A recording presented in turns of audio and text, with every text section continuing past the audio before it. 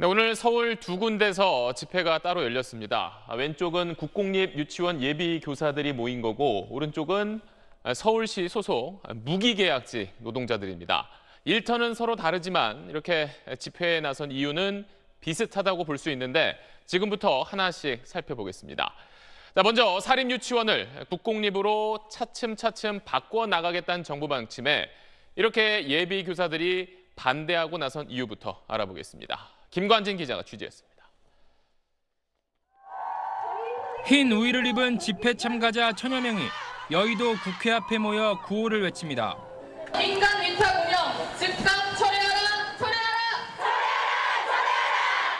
모두 국공립유치원 교사 임용시험에 합격한 예비교사들입니다. 국가가 위탁이란 명분으로 공립화시킨다면 사립유치원의 비리가 국공립유치원에서 되풀이될 수 있다. 사립유치원 회계비리 사태 후 교육부는 국공립유치원 40% 조기 달성을 목표로 내걸었습니다. 사립유치원 원화 비율이 75%로 압도적인 현실이 유치원 단체 집단 행동에 빌미를 제공한다는 지적 때문입니다. 새로 짓는 데는 시간이 필요해 기존 사립유치원을 사들이기로 했는데 연말까지 40여 곳의 사립유치원이 국공립화됩니다. 이 과정에서 사립유치원 교사들의 대량 해고가 우려되자 교육부가 민간 위탁의 형태라면 우수한 교원을 채용할 수 있다고 언급한 게 불씨가 됐습니다. 국공립 예비교사들은 임용시험이 무력화되고 자신들의 일자리도 줄어들 거라며 강하게 반발하고 있습니다.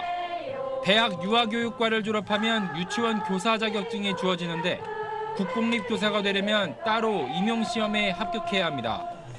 유치원 공공성 강화 정책이 국공립 사립유치원 교사 간 갈등으로 번지면서 또다시 정부의 갈등 조정 능력이 시험대에 올랐습니다. SBS 김관진입니다.